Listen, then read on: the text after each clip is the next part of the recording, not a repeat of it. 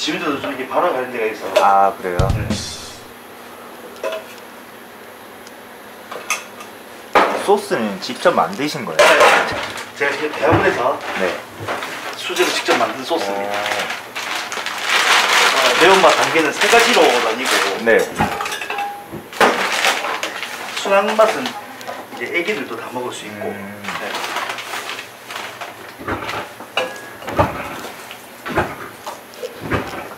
얼핏 봤을 때 라면 스프처럼 생겼네. 근데 좀 네. 요즘 이제 즉석 떡볶이 소스 자체가 네. 대부분 이런 식으로 이루어져 가지고 이거 이거는 물엿입니다. 네. 네.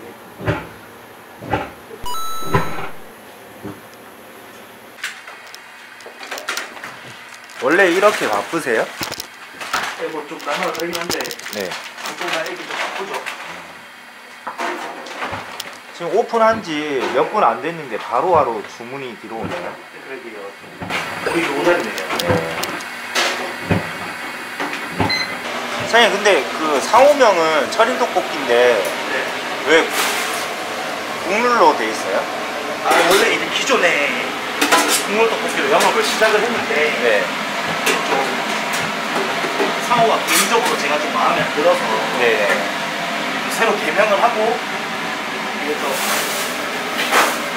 제가 새 마음 새 뜻으로 시작을 하고 있습니다. 사장님은 국물 떡볶이를 선택하신 이유가 있으신가요? 아 좀 원래 어릴 때부터 떡볶이를 좋아 좋아하긴 했었고 네네. 이게 그 일반적인 떡볶이는 국물이 좀 많이 모질한 편이라서 네. 튀김이랑 먹을 때 좀 많이 아쉬운 부분이 좀 많은데 네.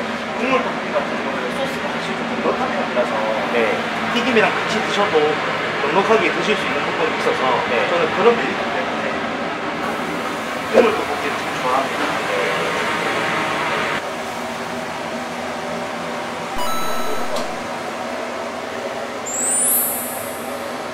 이게 저희 떡볶이는 이제 파채랑 같이 드시면 정말 맛있거든요. 또 파를 좋아하시는 분들 드시면 정말 좋아요.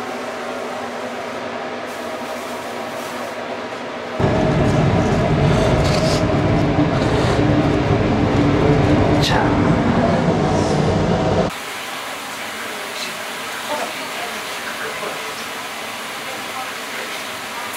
겁니다. 네. 철인 떡볶이라는 이름을 지으시게 된 배경이 있나요?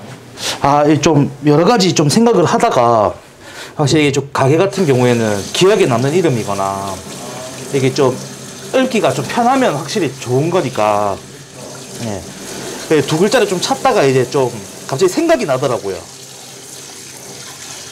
원래 철인 말고도 뭐 많이 생각했습니다. 뭐 달인도 있었고 막 여러 가지 있었어요. 예. 좀 흔하고 이러니까 그냥 이불로 그냥 철인으로 했는데 뭐 저는 개인적으로 마음에 드네요. 어, 저도 마음에 듭니다. 사장님 떡볶이를 창업하시게 된 계기가 있으신가요? 어, 그 원래는 제가 야간에 술집을 운영을 하고 있었는데 그 좀 아무래도 확실히 좀 밤에 일도 힘들고 사실 술집 손님들한테 좀 많이 치이다 보니까 좀 영업은 계속 하고 장사는 계속 하고 싶고 대중적인 걸 좀 찾다가 그좀 주변에서 떡볶이 장사하시는 분들이 좀 잘 되시는 분이 많아서 용기 내서 한번 도전해보게 됐습니다. 아, 이거 사장님 메뉴 중에 제일 잘 나가는 메뉴가 떡볶이죠? 뭐 아무래도 일반적인 떡볶이가 제일 잘 나가죠. 아, 국물 떡볶이요? 네네네네. 철인 국물 떡볶이 중에서도 사람들이 제일 선호하는 단계가 몇 단계인가요? 보통 그딱 중간 단계를 제일 많이 드시더라고요. 아무래도 너무 매운 거보다 너무 네네네. 그 아, 것보다 맞아요 맞아요. 네. 안 맵지도 않고 딱 적당히 매운 맛을 좀 많이 좋아해요. 혹시 매운 맛은 네. 염라대왕 하이파이브 네네. 그 맛은 어- 어느 정도로 맵나요? 어, 진짜 웬만한 이 매운맛 좀 잘 드시는 분들이 좀 드셔야지 드실 수 있을 만한 그 정도 느낌입니다. 네.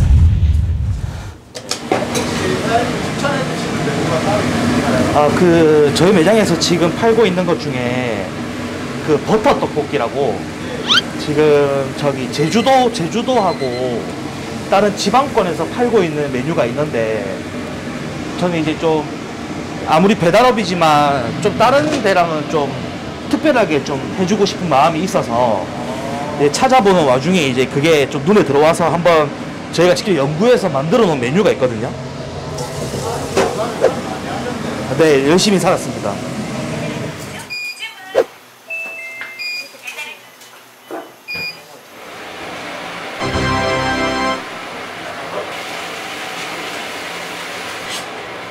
사장님, 네. 친구분이 오셨는데 원래 이렇게 자주 도와주시나요? 아, 이거 가끔씩 제가 필요하면 전화하면 혹시 도와주러 옵니다.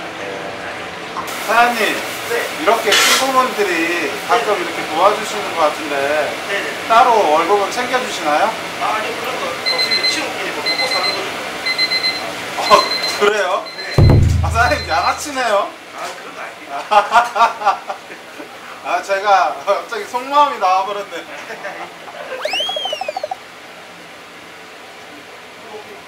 사장님 그 바쁜 시간이 보통 어떻게 되세요? 보통 이제 한 5시에서 8시 사이 아. 저녁 시간대. 오히려 밥 시간대보다는 밥 네, 시간대 이- 이외의 시간이 더 바쁘시네요 네네네. 아무래도 좀 이게 떡볶이가 식사류랑은 거리가 좀 멀고 간식 종류라서 아 야식이나 아니면 저녁에 이제 다른 식사하시기 싫으신 분들 좀 많이 주문했을 텐데. 아 저도 저도 그래서 한번 여쭤봤습니다. 네. 아유, 이거 조금씩 드시면서 하세요.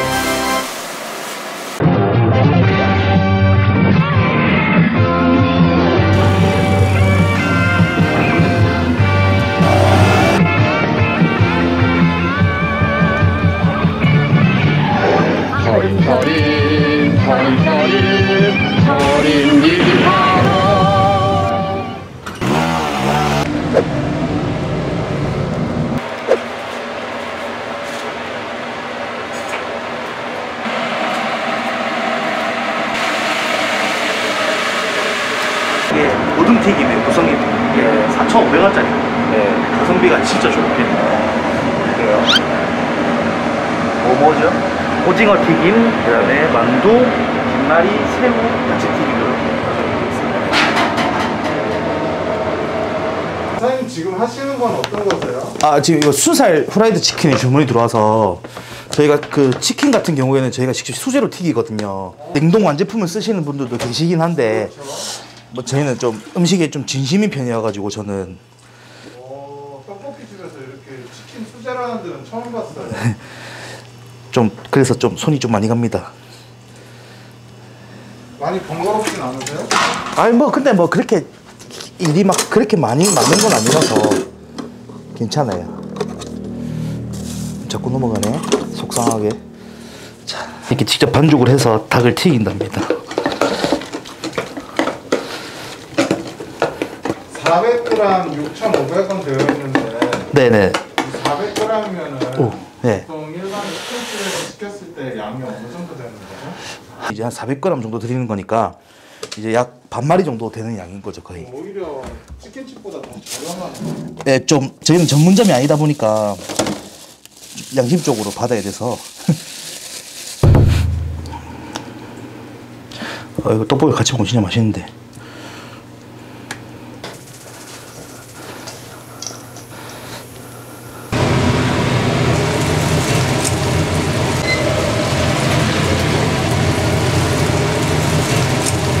사장님 네, 어, 여기는 다른 가게하고 좀 다르게 네. 복주머니 같은 거를 쓰시는데 네. 어, 이거는 사장님 아이디어신가요? 아, 네, 좀 아무래도 요즘 이제 배달하는 집도 너무 많아지는 추세고 네. 뭐 이것저것 좀 고려, 고려해 보다가 네. 요즘 이제 떡볶이 업계 같은 경우에는 이렇게 박스로 포장되는 패키지 포장이 좀 유행을 하고 있어요. 그래서 이제 그 그거를 좀 따라 해 보려고 하니까 사실상 좀 여러 문제점도 많고 해서 아, 좀 다른 방향으로 좀 찾아보다가 이제 뭐 어떻게 보면은 좀 프라닥을 따라했다라고 생각할 수도 있긴 한데 네. 뭐 사실은 지금 떡볶이 업계에서는 저희가 최초입니다. 어, 이 부분에 대해서. 젊은 사장님이시라 그런지 네. 감각이 뛰어나시네요. 네. 이렇게 이렇게 이렇게. 이렇게.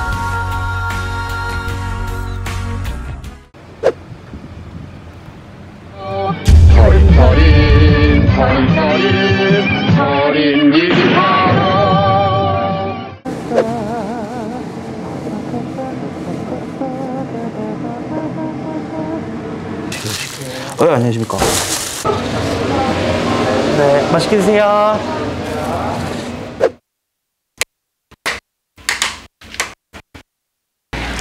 아, 오늘도 힘들었다.